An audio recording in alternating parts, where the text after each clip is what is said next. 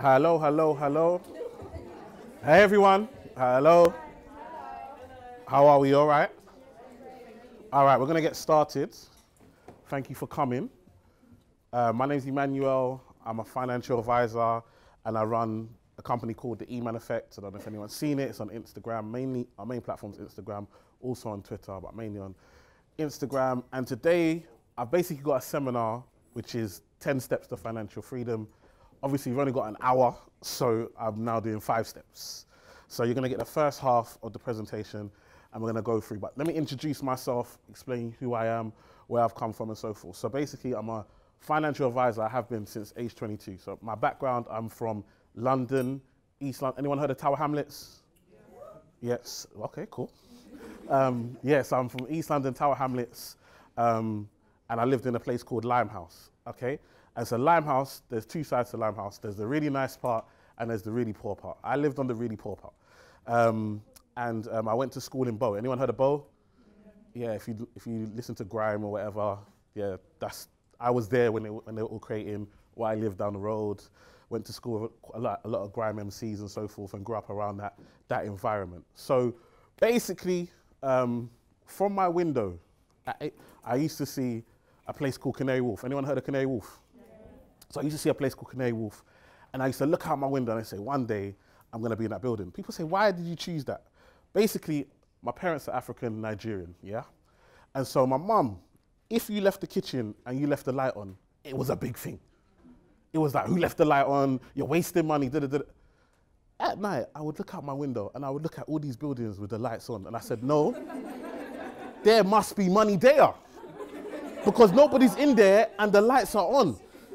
This is serious. So I said, no, that's where I want to be. So I wanted to be in Canary Wharf. So I'm like 13, 14. Don't know how I'm going to get there, but I'm like, I'm going to be there. So basically, I got a job in Canary Wharf working in Marks and Spencer's while I did my degree in accounting and finance. Partway through, I used my experience from Marks and Spencer's to get a job as, at Barclays as a cashier. So I was a cashier while I did my degree. When I finished my degree, I was so good at being a cashier that they said, whatever job you want, you can get. Basically, I used to, I worked three days a week, but I used to outperform everyone that was full time. I used to get, they used to give me the keys to the branch. You know, you're supposed to give part time people the keys to the branch. But I used to get to work early. So basically, when I was young, I used to work to my own clock. So I used to put my clock half an hour forward, and I always used to aim to get everywhere half an hour early. So if you do the maths, I'm getting everywhere one hour early. My mum used to look at me, why are you leaving so early? What are you doing? Da, da, da, da. But I knew what I was doing. Get pace early. So when I used to get to the branch early, who is at the branch? The branch manager. And so we'd be having one-to-ones. We'd be talking, what do we need to do? What needs to happen? Plus, I'm showing consistency. I'm getting there. So I, I then have that trustworthiness with the, and he used to tell me, look, if you want to get to the next level, read these magazines in the branch. If you want to get to the next level, go on this training. Go, we'd have, while we have our little talk in the morning, because who else are going to talk to? You have to wait before we, before we open up. So basically, I used to smash it. And then we used to have what we call mystery shop, where people would, there people come in and pretend to be customers, but they weren't customers. I got 100% three times in a row. I won an award for, for that, because obviously it wasn't heard of. This is what I was doing while I was still doing my degree. I knew that my degree was for my parents. I never want to go uni. I didn't want to go uni, but you know African parents, if you don't go uni, they haven't lived their life. So I had no choice. My parents have been talking about uni from I was like 10. I thought you went from primary school to uni. Like this is all that this is all they've been talking about. Do you know what I mean? So I knew I had to go. But I didn't want to go. I didn't want to do that. So I knew that I was gonna have to work because I'm not gonna get I'm not gonna get a first class. Not me. Oh, no way. So, but I knew I could hustle. I knew I could outwork. I knew I could bring enthusiasm. I knew I could achieve a target that I was set. I was a learner. I was ready. I was hungry. And so at 22, they made me a financial advisor, the youngest financial advisor in Barclays in the country. All right. All my peers were in their late 40s, early 50s. All my peers. And so for me, first day, did my training, went away, did my training, come back qualified. First day qualified, top floor, Canary Wharf building, they did a reception. I look back at my estate. I can't even see my estate, I'm so high up. All I see is clouds. I, I just know the direction, it's over there somewhere. But the point being, something that I said to myself at 13, 14, I made happen at 22. And I want you to understand that no matter what, you have the power to say something and then make it happen. But you also have the power to say something and think something and do nothing about it. Okay? So don't ever allow your dreams or your circumstances or your situations ever hold you back from whatever you want to achieve in life. But at the same time, make sure you are being proactive and doing things to actually achieve your dreams. Don't you hear about people complaining about things that they never change? A lot of us complain about things and we make no difference. We make no change in our situation, yet we expect our situation to change. It's crazy. All right? And so I've been a financial advisor, but basically after doing it for, for 10 years, I, I got to that position where you get high up in, in the corporate, corporate ladder.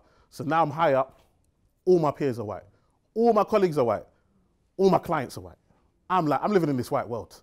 Do you know what I mean? So you go to church on Sunday and you see all these black people, and then Monday to Saturday, you see nobody. And so I said to myself, nah, this can't be it. Because I'm going to my clients' houses and I'm seeing the cars that they drive. I'm going to my clients' houses that are millionaires and I'm seeing the clothes that they wear. And then I'm going back to the hood and I'm seeing people with no dough that are better dressed and have better cars. And I said to myself, no, something has to change. Something has to change. There needs to be an understanding of what's important. You see, a lot of the time, because we come from a place of not having, we attribute items to being wealthy or being rich.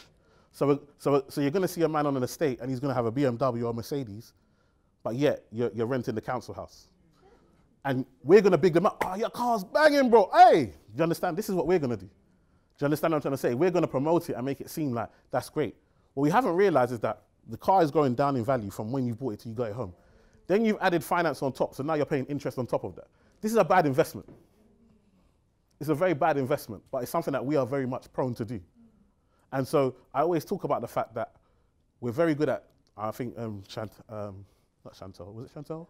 Charmaine was talking about the fact that we are spenders, we are influencers, like we set trends. But we're very much consumers and not owners. So we'll be the reason that, that certain companies' share prices are going up, yet we own no shares. And we're very comfortable being like that. When you think about like, I challenge my sisters. What is this boohoo coming through the door every day? Who is this boohoo? What is this? Every day, knock, knock, got to drop this parcel. Who is this boohoo? I said, I said, do you own shares in this place? No. But yet, 30, 40% of your income is going to this place. You're invested. And so what I'm trying to say is that there are levels to this. Like, and so what we can call investments, like we invest in the way we look, like today's beyond hair, we invest in our hair. Oh, hair is important, isn't it? Hair is important. Can change your whole face. Hair is change your whole face. People say hello to me this day without no hair, tomorrow with the wig. I don't know. I'm sorry. You've confused me. You've confused me. It's, it's a big thing. Do you understand what I'm trying to say? But at the same time, we need to have that same priority on building wealth. We need to have that same priority on actually making money. And so today we're going to go for a few steps and move on. All right, let's go to the. So this is my wife, and it's our youngest baby. Um, she's going to be one this month. I've got four children. Four children. Yes. Don't, don't, don't do it. Don't do it. don't do it. I don't recommend it to nobody. I, it's my own cross to carry. I don't, I don't wish it to any of you. All right. So, so yeah. Let's just move on. Time is ticking. So this is them. Oh, oh, oh, this is them. This is them. So we got Malachi, Ethan, Eliora, and then our youngest Mia Ray. So this are four kids, and yeah, this is this is my why. And so for you, you're around table now. I want you guys to really think about what is your why. Why are you here? What are you trying to learn today? Why have you chose to come to this session? Discuss it with each other, then we're going to feedback, and then we're going to go into it. All right? Thank you.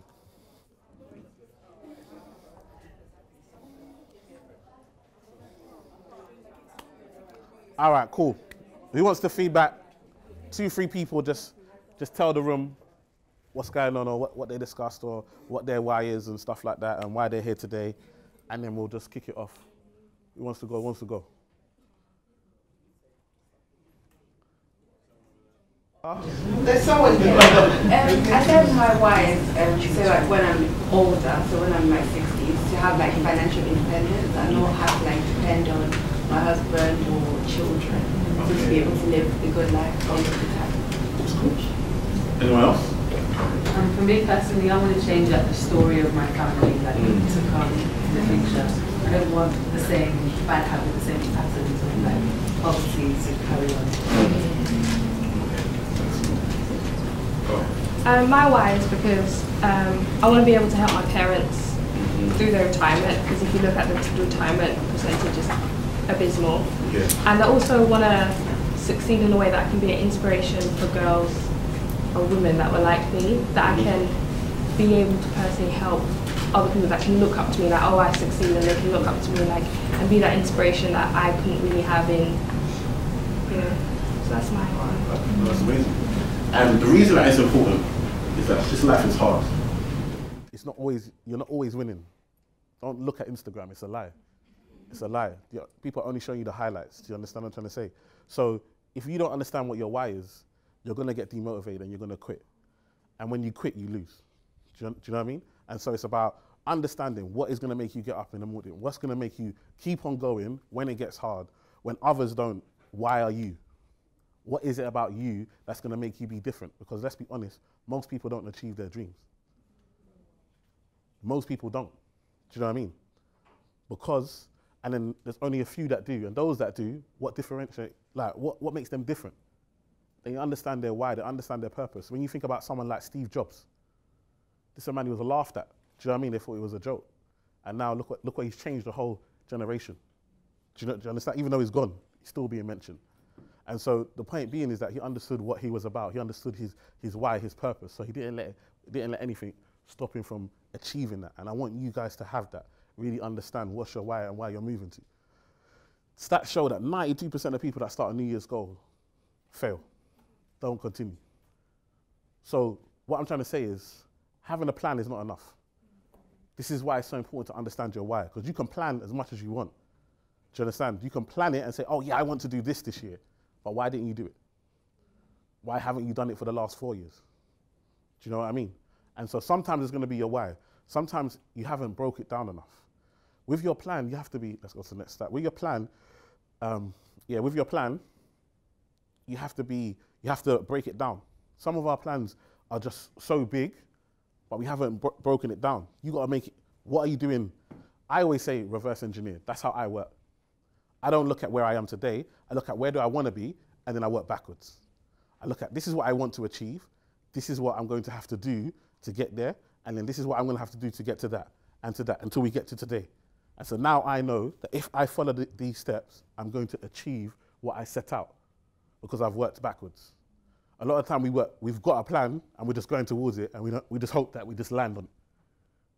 And that's why sometimes it doesn't work out the way we want it to. All right? Mindset, thinking. A lot, like you, like, like you mentioned, in regards to a lot of us come from a poverty mentality. And that's because a lot of us, a lot of our parents didn't have. Like, you have to understand, like, sometimes when we talk, a lot of our parents are first, not even first generation, they've come. Like, you relocate anywhere and given nothing. To achieve anything is amazing. But some of us don't even appreciate that. We don't even appreciate that we're in a house or our parent, like the things that we have around us have come from nothing. From nothing. No help, no support, nothing. How many jobs? And not nice jobs. Like when I think about my mum, mo- most of the time she was a she was a dinner lady. Now she had arthritis, she had to have a knee replacement because of standing so much as a dinner lady. That's the sacrifice that she made for me. But do I appreciate it, or do we really appreciate what these what, what our parents had to do? My dad's an accountant; he had to be a security guard until way, way before they would let him be an accountant. Some of us were, quali- the parents were qualified where they were, and then they've come here and then had to take jobs way below their qualification. What I'm trying to say is, is that sometimes we get into a bubble of, ah, this person has this, this person has that. But we need to change our mindset. We need to change the way we think and look at what do we have. And think about what is your mindset when it comes to money? Where does it come from? Most, most of us can get into a place where we're spenders where we spend, we're just ready to spend, we're ready to buy because we don't have. When, I was, when we were younger, a lot of the time we'll get money, we'll buy trainers. Then you buy the trainers, the same trainers in a different color. It's embarrassing, like to say it now. At the time, we was giving each other high fives. Do you, do you understand what I'm trying to say? Because the way that we've wasted money, the way that we've wasted it, because we haven't understood that money is a tool. You could do more with money than just spend it. Do you understand? But we're taught to spend it because obviously for us, it's better for us to be spenders so they can take our money and go and do, go and invest it and go and build. And so a lot of these, a lot of these industries are based off the back of our spending habits. And so what I'm trying to say is we've got to get into a place where we come out of that. All right, what's the next slide? No, no, just here, just here. So 70% of young people say that they get their financial education from their parents. But if your parents weren't trained, what education is that? Does that make sense? If no one has spent the time to teach your parents the system, this ain't like Africa. A lot of African countries, there's no mortgage. You either buy it, even your rent, you pay a year, a year in advance. So this is a completely different system. Sometimes we're blaming our parents. They're coming from a, a completely different system. They've never had to rent before, like monthly. They no one understands what a mortgage is. You buy a house, you buy it cash, you buy the land, and you build it yourself, and you live in it. That's where they've come from. So if no one's explained it to them how money works, how the system works, and then they're now you're now looking to them for your education, how will you not fail? Am I making sense? And so what it, what it takes is you have to now educate yourself. And so that's why it's so important that you come to events like this, come to rooms like this, and educate yourself so that you will have an understanding that you can now pass to your children. And so that's how we grow as a community. And that's how we break the cycle. Okay? A big thing is learning the difference between what you need and what you want. A lot of us focus on what we want over what we need. Okay? And so because of that, it means that we don't have money. And I always use this example. So I look at my neighbor, yeah? My next door neighbor, her car is atrocious. One golf, something, polo. She could never drop me to the train station. Never, ever. So she's like, oh, do you want to lift? No, I walk. I'm walking. That thing is atrocious. But she's just done an extension to the back of her house and extended the top. Her house is now worth a million pounds. Do you see the difference? With us, we're going to focus on the car and make sure that car is banging. And you know what I mean? We're taking pictures in the whip and we got the music real loud so everybody knows. Do you know what I mean? Everyone knows we're about. But you got to because now you're paying 400 pounds a month. You understand? If I earn a grand and I'm paying 400, my music's loud, my G. Everyone got, I got to make the most of this thing. Do you know what I mean? I've got to make the most of this situation because I know I'm crying at home. Do you, do you, know what I mean? I always tell people when you go to, like, I see how many people in Afro Nation are just watching the videos just laughing. You know the one that's skanking in the middle of the most? That guy was in the overdraft. They know that they're there on overdraft. They've got to enjoy every moment. 23 out of 24 hours, they've got to be in the rave. Because they know when they come home, bailiffs are waiting. Bailiffs are waiting for them. So, of course, I'm going to enjoy myself. How many of us are living this fake life in Dubai? You're in Dubai. I don't understand. How are you in Dubai? Do you know how, expensive, you know how expensive Dubai is? How are you in Dubai? It's not for all of us. It's not for everybody. You just got normal job part time. TK Maxx, you're in Dubai. It doesn't, it doesn't make sense. Do you, do you understand what I'm trying to say? But we can't wait. There's something called delayed gratification. We can't, we can't, for us, we need instant gratification. You know when you go to the train station and you get to the train station, especially in London Underground, it's like four minutes. You're cussing four minutes. Good service. Four minutes is a big thing. You want one minute or two minutes. We want it now. We need to learn the principles of delayed gratification, okay? And understand that what I'm saying to you is not that you're never going to enjoy, but what I'm saying is if you reduce your enjoyment now, and the money that you save by reducing it, you then invest that money, later on, that money will pay for the lifestyle that you want to live. That's how you, that's how you get to financial freedom. That's how you build wealth if you live now, and listen, as like I said, I'm Nigerian. I don't know if you know about Nigerians, but we like to party. We don't just do 50th, we do 51st. We do, we like, do you understand? You be at a 53rd party, like, whoa. Full hall, gele, different uniforms, everything. Do you understand? Like, we love to party for everything. Do you understand? And so, when we have that culture of spend, spend, spend, sometimes you have to say no. I think some of the powerful, one of the, one of the best things that's going to change your life is the ability to understand that you can say no. You do not have to be somewhere. And if you offend some, if somebody is offended because you have said, listen, the way my budget is set up, I can't afford to do this, then offend them. Hmm. Let those people go. Those are not the people. Because you know what? Sometimes we want to impress people so much. But when you're sick, do those people even text you? When you need money, those people, they never answer your phone call. But yet we're trying to impress them. We're trying to make, we're trying to make sure that everyone looks at us and, oh, we make everyone else happy. But we're making other people happy at the detriment of ourselves. And what you have to understand is when you understand that you're more than just yourself, but you're, you're in a line of a generation, you're, there's a lineage, there's going to be more. And so if you don't set yourself up and you focus on making other people happy and don't set yourself up, you're not only hurting yourself, you're hurting those that come after you.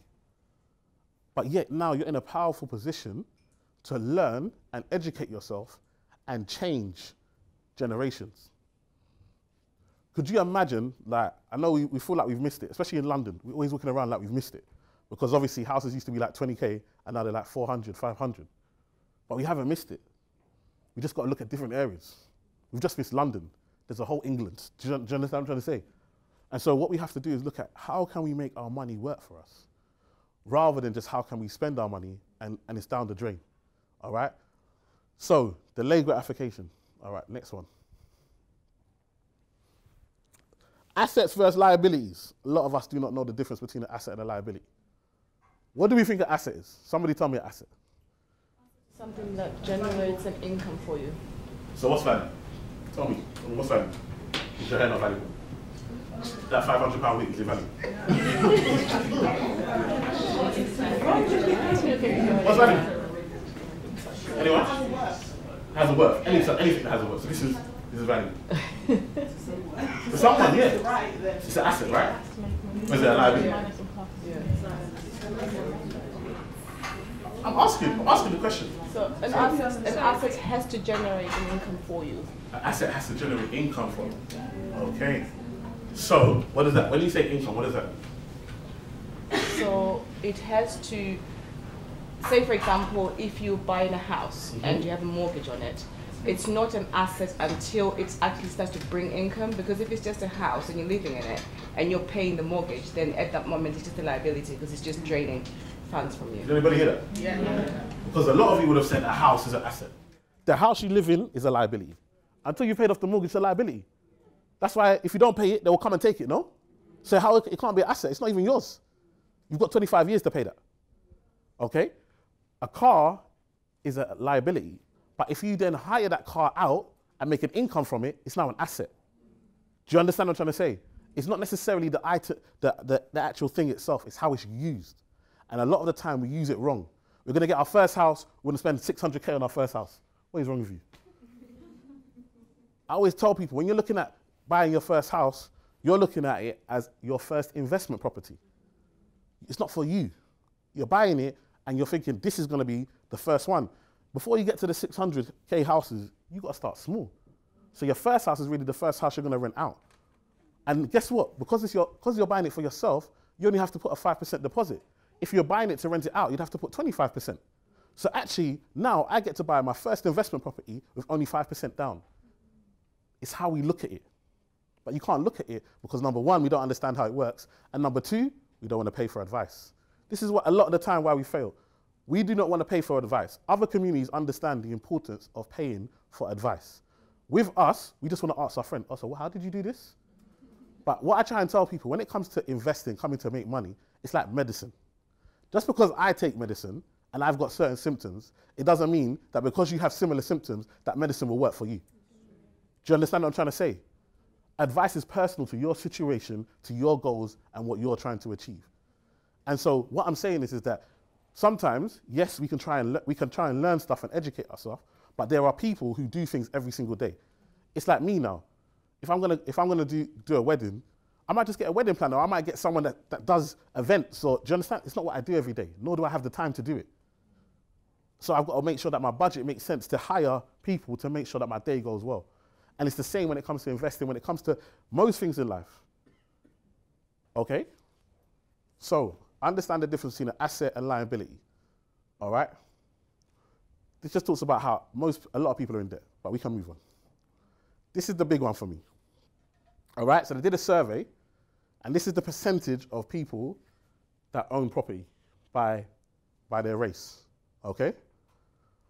And so you see, when it comes to black African, 21%, black Caribbean, 37%, Do you know why the Black Caribbean, how they got to that point of doing 37%? Do you know how most Black, black Caribbeans bought their property? Has anyone heard of Pardner? Anyone heard of Pardner? Nigerians might call it, I think, Ojo, something like that.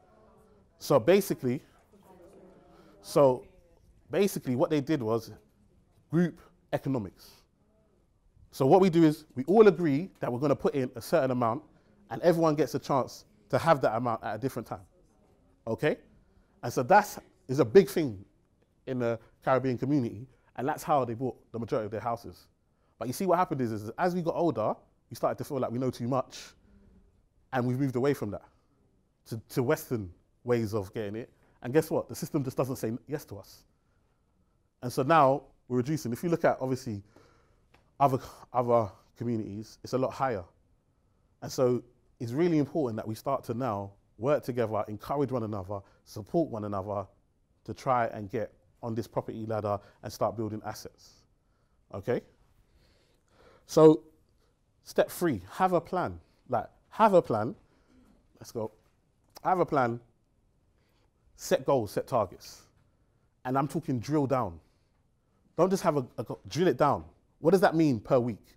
What do you have to do that week to ensure that you're on track? What does overperformance mean? What does underperformance mean? What happens if I underperform? What do I now need to do in the following week? Okay? Write it down, set a date. Okay? Accountability partner. A lot of us got bare friends when it's time to go party. Everyone's there, bloke, happy birthday to you understand? But now it's time for now it's time to do something serious. We ain't got no one. And so you now to start need to looking at who do you have around you? Because all this party party is cool, but let's start let's start having friends that say, yo, how close are you to getting your deposit? Oh, have you started have you seen have you seen these shares that you can buy? Have you heard about an ISA? Let's start let's start educating ourselves and being assets to our friends and encouraging each other to build. Break down your goal. Plan your first steps. Keep it going. Celebrate. This is one thing I think we don't do enough. We do not celebrate when we do stuff because we're trying to be humble. That humble thing, we need to let it go. To me, if we don't celebrate each other, if we don't celebrate each other, what happens is, is that we don't understand that people are achieving stuff every day I sit down with, with black people, because now I just focus on black, mainly black people, that have got businesses, that are doing so many different things and succeeding. And I just think, when I look on television, we're not going to see this.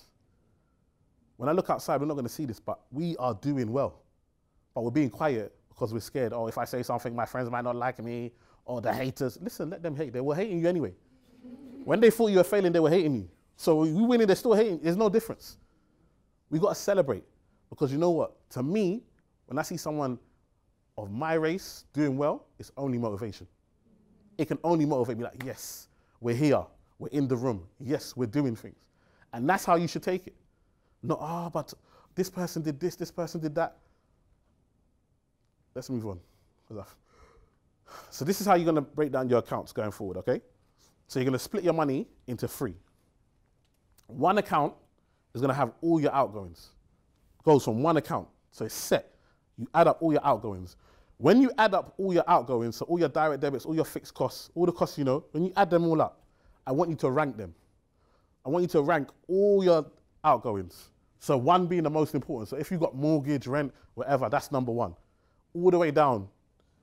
The ones that are at the bottom, I will challenge you to see, do you still need them? Can you let them go? And the reason I tell you to do this is that you'll find that those little ones, by the time you've taken three or four of them off, all of a sudden, you've now given yourself an extra £100, £150, £200 that you can now start saving and investing and building towards your goal. Rank them, challenge yourself. And plus, you'll find things, I didn't even know I was still paying that. That free offer's expired and now you're, now you're paying and you didn't know. All right? Then you're to have another account. You're to put yourself on a budget a lot of us play the game of how much money can I spend and can I spend it all this month? so all your bills come out, you got one account, all your bills come out, and then whatever's left is now a challenge. I've got 600 pounds left. Boom. What can this do? And so, and, and that's why you'll get to like the 17th, 20th of the month and you're now sweating. Oh Lord. when is payday this week? Oh. Oh no, it falls on a Monday. Like you're stressed. stressed. This can't be life. You know how much you have coming in, you know how much you're going out. Why are you shocked? How, where is the surprise? It happens every month. Where is the surprise? Yet we're shocked like, oh no, I'm in my overdraft. No, you knew you was gonna be there, you. You knew. You knew. There's no shock here. All right? So it's now about changing the way we look at it. And then once you've done that, then you've got the remaining amount that goes into savings. Listen, if you have a savings account and it's on an app, it's not a savings account. You're lying to yourself, not to me. If you can move money from your savings account into your current account by a flick of the button on your phone, that is just a current account that you're calling a savings account to make yourself feel better. Just like we have gym membership, but nobody's going to the gym. Okay? This is how it works. If you wanna, if you're serious about saving, you got to open an account in a next bank. No card. Even if they give you the card, you don't open it. No card. You get statements. If you want to take money out of that account, you now have to go and queue. You know them Quay Quay banks, like nationwide. Know them banks there where you know the old lady's to be in the queue talking about her grandson. And like, you're not even feeling it. Like, you're, not, you're just not to go there. That is how you're to, you have to put barriers in front of yourself in order to make sure. I had one of my clients put their credit card into, into, into a, tub of water, um, put the water into the freezer, boom. Before you can use that credit card, you have to now start breaking this thing. By the time you've broken it, you've had time. Do I really, really, really, really, really? You know what? Let me just leave it. Sometimes you have to put these barriers because it's so flick of a button. Just touch. Beep, beep. Listen, I told people, yeah, if you want to have 10,000 by the end of the year, that is 27 pounds something a day. 27 pounds something a day. Some of us are spending that, boom, boom, just on nothing. On nothing.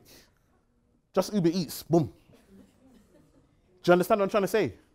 And so the point being is that we have to start putting these things out. We have to start putting these things out. Education. Point four, education. Never stop learning. All right?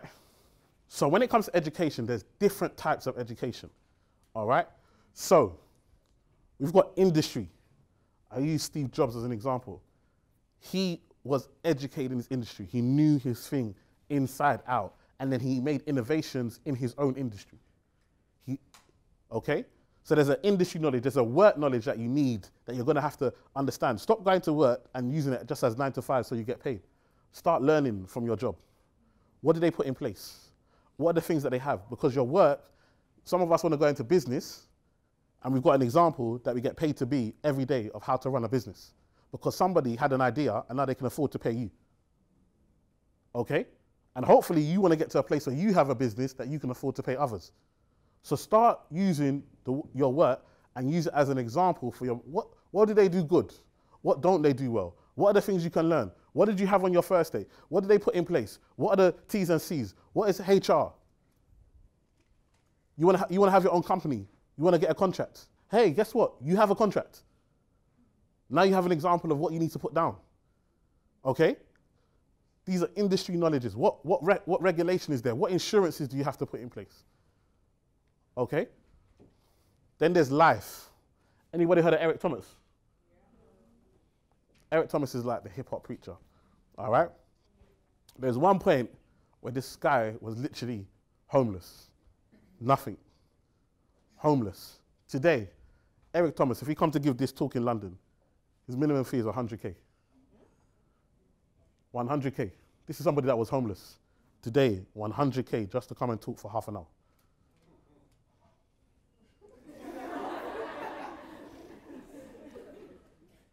Do you?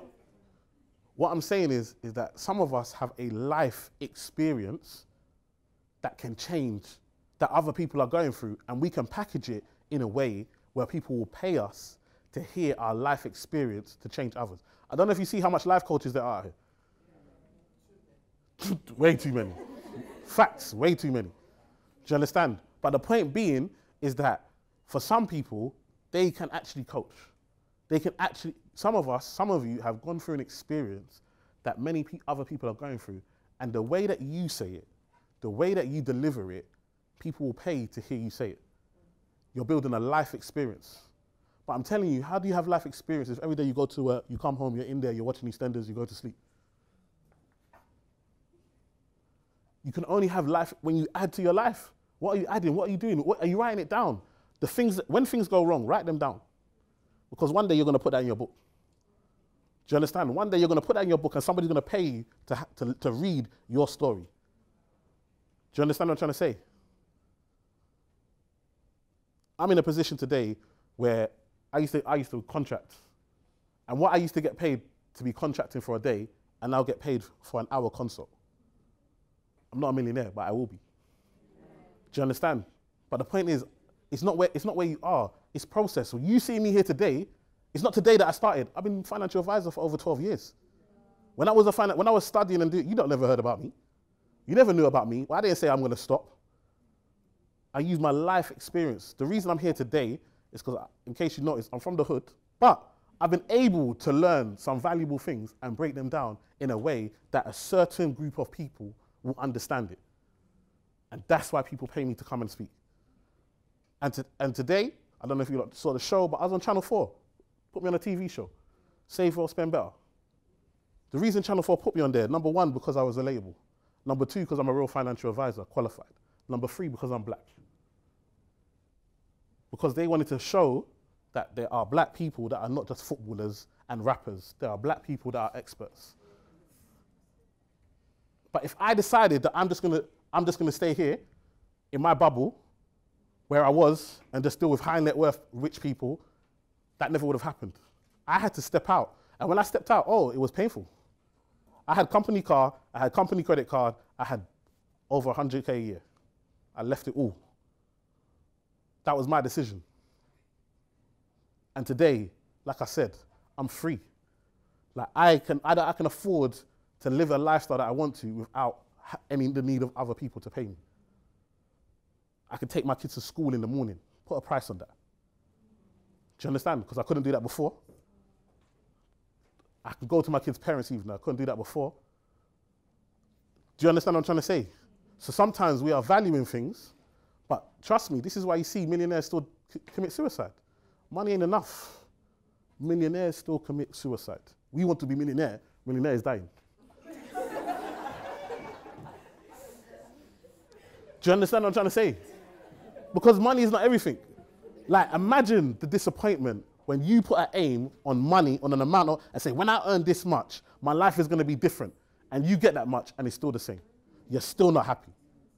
What's left? And I always talk about when we, like, with children, what, what, type of generation are we trying to raise? Some of our kids are so spoiled because we want to give them everything. But Bill Gates is giving, his, he's dying, his kids are getting no money. He's even giving away so much money, he's not even the richest man in the world anymore. Why? Because he said, listen, with the, with the education and lifestyle that I've given these kids and the name Gates, if that ain't enough for them, then my money was going to be wasted anyway. Do you understand what I'm trying to say? That's, that's the type of children we want to be raising. All right, let's move on. Five minutes, no problem. Importance of credit. This is the last one credit. I need you to understand the importance of credit. Let's look at it quickly. For a lot of you, you're purchasing these items. Mhm. You can see yourself on the screen, right? Shoes, bags, clothes, holiday cars. You can see yourselves. All right. I need you to understand the difference between good debt and bad debt. All right? A lot of there is debt that makes you money, and there's debt that makes you lose money. Okay? And so you need to understand the difference between what is good debt and what is bad debt. Let's move on. Leverage. And we're going to end on this, but leverage is so important. Imagine you, like I said of a house, you put down 5%, but now you have 100% access of this property. Do you understand what I'm trying to say? For only putting down 5%, that's leverage. But some of us can't get 5% because the way our credit is shaped up right now, the bank ain't going to give us nothing. Computer says no. and why? Because we, we, were, we wanted to live this fast life. Wanted to, wanted to be buying these student loan. You've just gone and bought bag and car, and now you've got nothing to buy books. Now you're going home every weekend, packing, packing ice cream containers. hmm. You're laughing, you know yourselves. This is Grant Card- Cardone, yeah? This brother was in a, he was in the line. In America, you got to go in line and queue to get your benefits, yeah? He was in the line to do that. Now he has a $500 million real estate. 500 million from in the queue, in the line to give somebody give you money to 500 million. That's leverage. It allows you to do more. Let's flick on. Hey, you lot know the sign, isn't it? it's the devil, please. Stop yourself. If you don't have the money, if you don't have the money, don't buy it. One of my friends was telling me the other day, like, we're talking about Range Rovers, like, obviously buying these nice cars, Bentleys, and da So listen, if I ain't got two houses, at least two houses, I can't buy that type of car. Do you understand? These are bad investments. You're buying clothes, Klarna Klarna. Listen, what about the one in your in your in your own wardrobe? You've got clothes with still the tag on. You can go and do your own Klarna from your wardrobe. and you're still here. My goodness. Let's look at some credit tips quickly. All right. So, uh, these, these are the main ones. These are the main credit credit agencies. All right. I like to use um, Credit Karma um, and ClearScore because they're free. At this stage, that's all you need. Don't make them fool you. This stage, that's all you need. When you get to mortgages, you can look at the other ones. All right. Some quick tips. Check your credit file. Some of you are avoiding your credit file because you know that it's going to be bad. Because mm-hmm? you know what you was doing. You was giving your boyfriend your, your account details, doing 419, and now your credit is in now your credit is in red. We can change it. It's only six years, okay? It's only six years. Get on the electoral roll. People are like, I don't vote, I don't vote. Don't worry. Just get on the electoral roll. It's common sense, yeah? If I'm going to borrow you money, I want to know where I can find you. That's just common sense. That's why the electoral roll is really important. If you're at uni, don't keep changing your address to all these different houses that you're moving to. You've messed yourself up. So a lot of the time, if you're at uni, if you can, leave your, leave your address mainly based at your parents' address, okay? So that way, you're on the lecture at your parents' address, and then your address, your address history says flat. Because again, when you've moved to all these different houses, now when you go to a filling form, they say your last five years. You know, I remember three months I was here, all of a sudden, and plus, whatever's happened in that house can potentially affect you. Okay? Pay more than the minimum. So if you ha do have a credit card, pay more than the minimum. To me, if I'm using a credit card, I tell you when I use credit, I only use it if it makes me money or saves me money. Okay? So if I if I use a credit card, if it makes me money, then I, so if I'm using something, I know what I'm going to purchase is going to make me more, then fine. If it saves me money, if I know that I'm going on holiday and if I buy it right now, it's cheaper, and I know I've got the money to then pay off in a period of time on an interest-free credit card, that makes sense. I've just saved myself money. We're just using credit and we're using it to buy stuff that has no value. And we're creating debt for ourselves. Does it make you money? Does it save you money? All right? Pay more than, don't keep your debt below 50%, really 40%, but maximum 50% of your credit. Some of us are, oh, I've got 10K. Listen, chill out. Chill out. More time, you only, you only make, you only earn a, on a job of 15K and you've got 20K, 10K on a credit card. You're killing yourself because how are you now going to pay this back one day? And what happens if you stop working for whatever, whatever period? And so these are the type of mistakes that we make in our youth that affect us when we're older, when we want to go and get mortgages and so forth. Okay? So focus, you can focus on paying debt in different ways. All right, so the importance of leverage. So let, this, is the, this, is, this is it right here. So two people can drive the same car, yeah? The same car, but based on their credit, the finance can, can be completely, what they're paying is completely different. So in this example, someone's paying an extra £4,846 to drive the exact same car, all because of their credit, okay? So it's really important that you understand your credit. And this is the same with mortgages. If your credit's not good, you're gonna have to go to a higher mortgage, uh, rate, a high, pay a higher rate. Two, if, you're, if you can get 1.99, but now you have to go and get 2.7, 2.7 on something that's 300K over 25 years, that's hundreds of thousands of pounds extra that you're gonna pay. Okay? So it's really important that you understand the importance of your credit and you keep it clean. All right? So debts, list your debts down, understand them, understand where your money's going, what you need to spend your money on. Okay? There's different ways. So you can do the snowball, so you can start with the smallest debt. Because you just, as you pay that off, it gives you the motivation to pay off the next one. All right? Then, or you can go for the one with the highest amount of interest and pay that one first.